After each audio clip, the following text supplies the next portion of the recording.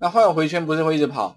那跑的进度不就是可以换算一下，把它就是一百百一个一百 percent 啊？等它跑完的时候，表示这已经全部载完了嘛？那这样不就感觉上有个进度在跑？我应该理解我的意思吧？有没有？就是 假设你的笔数特别多的时候，那它就是你把它当成百分之一百，让它更新到哪里，让它更新嘛。好，OK，那这样 user 的话就比较知道说，哎，你的 database 到底载到哪什么样的进度？好，那这里的话，我想当然用讲的比较快，哦，但是 做实做其实一定是做得出来，绝对没问题。你可以把这个范例跟刚刚那个会 KK 的范例。啊，有没有？就是按下去，它有没有？它没有，没有，没有回应嘛？那你可以怎么样？把两个结合在一起，就会有那个效果出来了。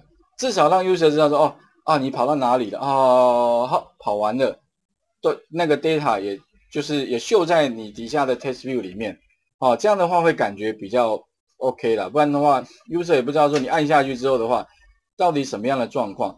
但是，那 widget 里面有一个是会转转的，有没有？一直转转转那个那个 widget，你也可以利用啊。如果说你不想要一个 bar 的话，那你就是让它转转转转转，啊，有没有一直转一直转，好像催眠一样嘛？那也是 OK 的啊。所以这两者就是执行序跟 around 哈，然后跟前面的，我想只要会让 user 需要等待的时候，就需要另外开一个执行序，让。啊，这个你跑的进度可以在上面显示，即便是百分之几也 OK 啦，有没有？你可以用数字显示也 OK 哈。那要能够显示这个进度的话，需要一个 handle。那这个 handle 的话呢，就可以帮我做两件事，一个是更改 test view 上面的讯息，一个是更改 bar 上面的讯息。好，那最后结束之后的话，我们多做一件事情，就说，其实在二点叉的版本哈，会需要在啊 on destroy 里面。